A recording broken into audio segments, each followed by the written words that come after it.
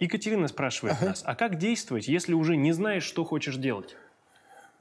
Ну, вот, э, собственно, для этого э, я что, зря этот, этот челлендж придумал про ревизию жизни?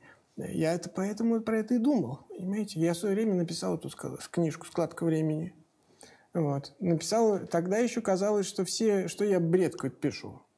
Но я люблю начать чуть раньше, так сказать, э, голосить о тревогах и рисках. Вот, э, да, я писал про складку времени. Я писал, что мы утратили идентичность, то есть у нас нет ощущения того, кто я. То есть раньше можно было четко ощущать, кто ты, и, и э, это давало тебе э, как бы приобщенность к какой-то группе людей. Ну, то есть я говорил, я психиатр. И вот мы как бы мы стояли такой толпой гордых психиатров, обладающих сакральным знанием. Да, теперь каждый справочник откроет в интернете, и все ему там, там понятно. И нету больше психиатров, все сами психиатры, непонятно, где здоровый, где больной. Вот. Кто первый халат надел? Да, это тоже главное, у кого ключ. Это наша старая психиатрическая шутка. Да. Ну, в общем, да, утрата идентичности, нехватка нехватки. Поскольку как бы базовые потребности в целом удовлетворены, нет ощущения голода, который бы тебя куда-то Э, как бы толкал вперед. Это все критерии э, складки времени, да. которые Андрей Владимирович зафиксировал в книге, которая называется «Складка, складка времени. Сущности критерий». Да, ну вот. И э, третье – это фальсификация мышления. Это когда мы начинаем думать очень поверхностно, просто потому что очень много информации, и мы, нам как бы не схватить ее глубоко. То есть мы... Раньше был ковш такой, ты сидишь такой, видишь, у тебя такой.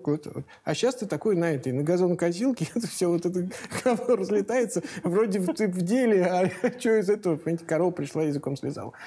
Вот, э, да, поэтому, э, значит, я придумал этот челлендж, у меня идея, ты, ты процитировал Рузвельта, там уже сейчас я так понял, что мне начинают приписывать цитату, это зря, вот, это Рузвельт, вот, но одно дело, понимаешь, знать выражение, делай, что можешь, тем, что имеешь там, где ты есть, очень красиво звучит вообще, да, и очень по существу, но другое дело разобраться в чем, где ты есть, кто ты есть, с чем ты имеешь дело. Что есть, ты самом... можешь. Да, это вопрос э, ревизии да, существующих у тебя возможностей. Вот. Э, на самом деле наши ресурсы огромны. Это особенность э, восприятия. Наше, все, к чему мы привыкаем, мы перестаем слышать. Ну, то есть, если вы, например, у вас шум за окном, вот. И он постоянный, вы перестаете его слышать. Да, у вас идет адаптация. Вот. И даже, я не знаю, на шумную какую-то вечеринку приходите, там шум, начинаешь разговаривать с человеком и перестаешь слышать этот гвалт. Да?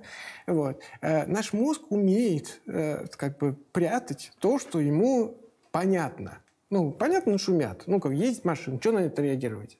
Вот. И ты вообще, у тебя из мира выпали машины, а они есть в нем.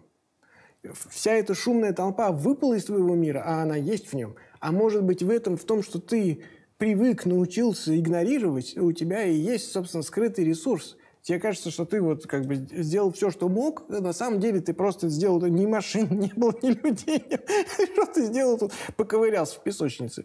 Вот. И ревизия – это как раз возможность придать э, фактическое наполнение индивидуальное для каждого человека – того, из чего его жизнь, что, где он есть, что он имеет, и что он может с этим делать. Вот. Поэтому э, Рузвельт был таким... Э, я даже не думал, что так... Э, ну, черт, я никогда не понимаю, что, что людям нужно. Вот. Я что-то сделаю, ну, думаю, нужно одно, а вдруг, оказывается, нужно другое. Вот выяснилось, что вот, что вот эта расшифровка, внутреннее понимание для меня, где я, с чем я, что я могу. Вот. И это и есть сейчас самое главное, потому что тогда начинаешь понимать вот, э, идентичность свою, начинаешь хотеть, потому что у тебя дефицит появляется, ты видишь, где есть возможность восполнения его. Вот. И мышление становится глубже, потому что я как бы не игнорирую ничего, я смотрю все в системе, в объеме целостности. Вот, поэтому как раз э, челлендж ревизии жизни, он эту задачу, ну, на мой взгляд, решает. Потому что э, все отклики, они меня, конечно, радуют невероятно. Я говорю, что у меня самая счастливая профессия, потому что можно получить обратную связь от людей, когда ты что-то чему-то помог человеку, и он тебе говорит обратно, что он ты сделал. А с точки зрения всех исследований, удовлетворение качества увлеченности, вовлеченности. Мне все время говорят, что ты такой работаешь, уже прекрати. А у меня же там люди ждут, я им сделаю, они скажут, будут счастливы, я это мне счастье передастся, я как бы и я вроде бы уже сам уже язык на плечо. Но я, так сказать, почему? Потому что есть этот отклик. И, э, Это третий аспект э, того, что вы живете сегодня. Потому что да. дело, которым вы занимаетесь, приносит вам ощущение удовлетворения, да. и вы чувствуете, что вы реализуете себя в нем. Да. И даже вот когда, если... Это очень важно вообще, вот начать, что то, что вы делаете, оно имеет отклик. Вот, вот всегда. Это почему? Потому что э, мы же э, утомляемся, мы устаем. Вот то, что вот эти вопросы, они же про внутреннюю усталость. Я всего достиг, я не знаю, куда я это. Это, это, это все про как бы вот, вот какая-то немощь, понимаете? И это неизбежно. Но когда ты знаешь, что ты как бы еще чуть-чуть делаешь, и там как бы это где-то отражается э, позитивным результатом, это же тебе начинает возвращаться. Представляешь, вот сыграть симфонию какую-нибудь девятую вот, в зале. Вот в пустом зале играть симфонию. Вот ну просто, вот, вы думаете, вы играете девятую симфонию в пустом зале. Чувствуешь себя придурком. Ба-ба-ба-ба. И все такое, сидят кресла. И ты И оно не отзывается. И вот это вот отклик, он чрезвычайно важен. Вот. Поэтому это часть, кстати, вот этого ответа на вопрос. Э, э, э, ну, и с точки зрения ощущения жизни, потому что если вы в депрессии, вы кругом шлете всем депрессию вокруг. Если вы научились справляться с этим, вы улыбаетесь, вам улыбаются. Вот как есть положительная обратная связь. Вот. Если у вас есть другой человек, который не который вас пришел спасать и, значит, из вашего, значит, э, э вашей э, этого, э, вот, выбирать, вот. а он пришел и, этот, и вы пришли к нему, и вы ему, а он такой, вау, он был депрессивный, остался вещей, все, вы же как все, вау, положительная обратная связь. Вот и сделаем опять. То есть что, что-то сделал, в реальности что-то поменялось, и ты чувствуешь, а это Пушкин, а это сукин сын. Ну, как бы еще не до конца Пушкин, но уже сукин сын ничего. Вот оно как.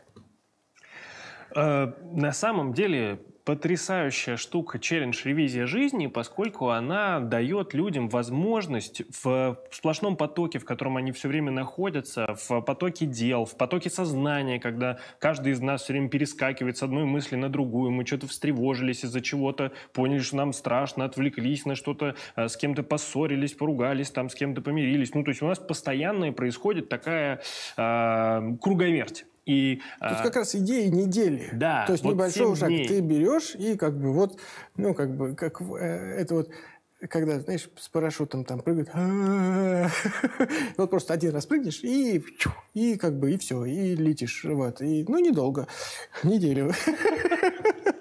Вот. И, собственно говоря, просто на самом деле вынимаешь из себя себя самого и видишь себя как то, с чем можно что-то делать слепота к самому себе утрачивается.